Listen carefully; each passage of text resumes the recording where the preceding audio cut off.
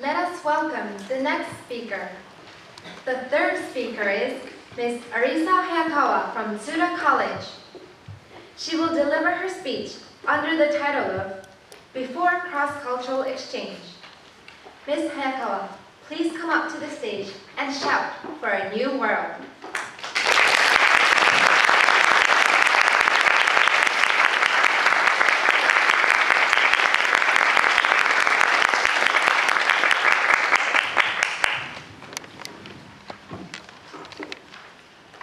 Thank you, Masters of Ceremonies, honorable judges, and questioner. Good morning, ladies and gentlemen. Ten American high school students visited our college. When we enjoyed having lunch, one of them asked me some questions concerning Japanese culture. I didn't know what to say. I thought, it was because I didn't understand Japanese culture well. They were interested in our home country, Japan, but I couldn't meet their expectations. I was really frustrated. I also felt that I was a disgrace to our country. Have you ever had some experiences as I did? or others have more knowledge about what you ought to know? Have you ever experienced trying to understand another culture before you understand your own culture when you try to do cross-cultural exchange? I think probably many of you have experienced it at least once. Today, I'm standing here to talk about the importance of understanding your own culture and being able to explain it before cross-cultural exchange. I hope after my speech, you will try to understand your own culture and become a person who can explain it with confidence. First of all, let me tell you what today's world is like. There are a lot of wars and conflicts among countries Every country, every people has their own ways of thinking. So it may be natural that these tragedies always happen. However, I don't think that we have to live with this situation. Then, how can we change this? The answer is mutual understanding, which is the best way and the only way to solve the problem. In order to succeed in mutual understanding, culture should be pointed out, because culture includes human life, custom, thought, and many other things. So, it is important to do cross-cultural exchange, which is to communicate each other's culture, understand each other, and respect the other's culture. In other words, first of all, we have to understand our own culture and communicate about each other's culture. And finally, understand the other's culture. Some people say that we can understand our own culture even after cross-culture exchange. However, please remember my experience from the very beginning of this speech. Because of a lack of my knowledge of my own culture, I could not do cross-cultural exchange anymore.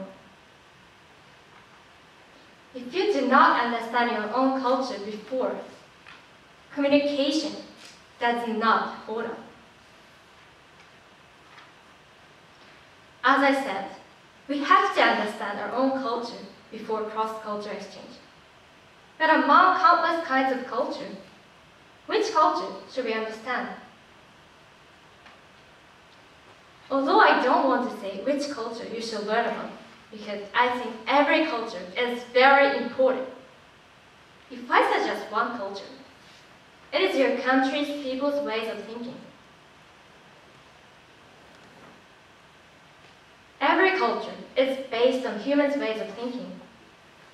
So, understanding them leads to understanding other kinds of culture. Then, how to go about understanding your own culture? I don't think we should read countless books about culture and drill its knowledge into us. I strongly believe that to have actual experience is the best way of understanding our own culture.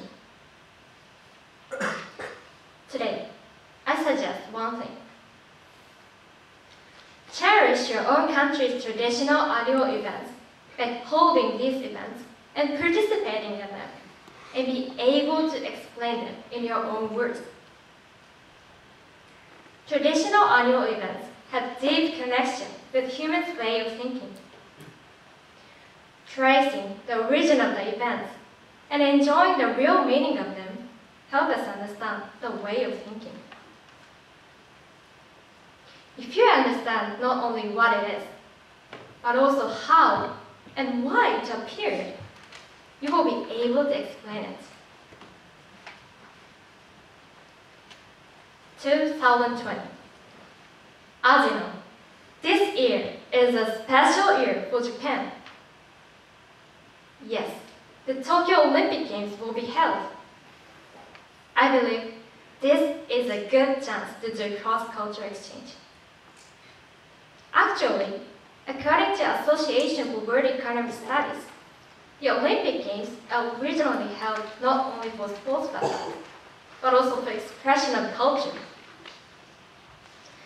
I would like you to understand your own culture and being able to explain it to foreign people, and then communicate with them positively.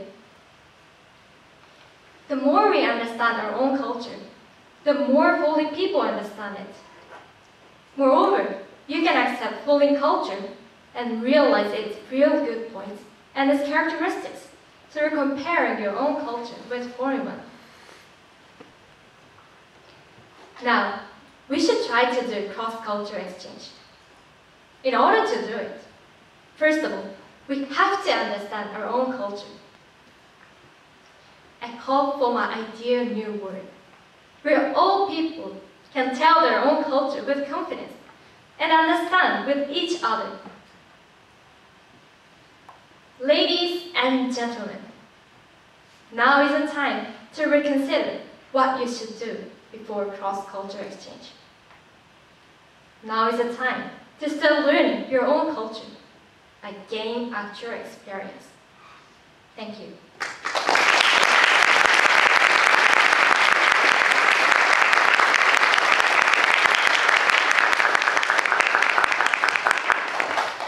Thank you, Ms. Hayakawa. Then we would like to move on to the question and answer session.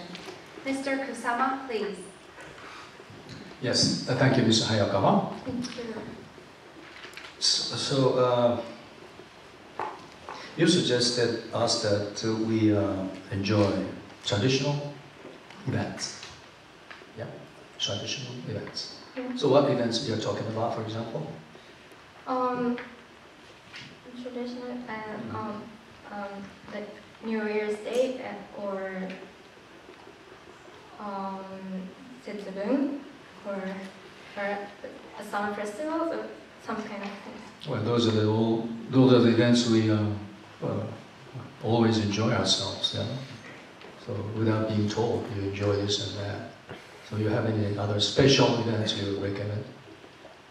So that we can better know our traditions, our country. Um, mm, Too many to think of now? uh, Okay.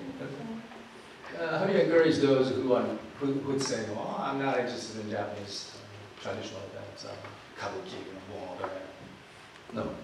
So how do you encourage those people? Um, I think um, festivals are very enjoyable and very easy to participate in. So first of all, these kind of very easy to participate things I, I recommend. And if they interested in this kind of kabuki or some kind of things, I recommend them to go to see. Yeah, that, that's. Well, how do you trigger? How do you encourage? Uh, my question: How do you encourage those people? Um, Uh, yeah, uh, who'd say, "Oh, no, no, festival." I don't like them. So any, any specific ways and means so that they are willing to participate in those events? Um, What if uh, your boyfriend says, "Oh, let's go to the festival," which you are not interested? What do you think? um, I think that um, every kind of traditional events are very uh, wonderful. Uh, uh, Wonderful. Ja- Japanese culture is very wonderful to know, uh, so we should know about it. So um, I, I st- strongly recommend them to that the Japanese culture is very wonderful. Okay, that means that you keep on stressing. Oh, it's very interesting. You should go. You should go. You should go. I keep on saying that. That that's all. Yes. Yes. Okay. Okay. Well, uh, last question. Uh, I think the Japanese cultures are changing every day. So just by learning uh, traditional events, people do not know if the uh, a certain uh, traditional event really reflect uh, most updated uh, Japanese culture. So what do you think? So we should, still we should learn. You are saying that we are we should learn our traditional culture or events first. Yeah. Cultures are different. Uh, I mean, Yeah. from the past. All right. Yeah, yeah, yeah. The culture is different. I, I'm sure that the culture is different, but I think um, the orig- um, the traditional annual events is a uh, express the very origin of Japanese people. So I think learning these things leads to learning a modern kind of culture. So, so first of all, we have to understand the origin of the culture. Okay. Okay. Thank you very much. Thank you.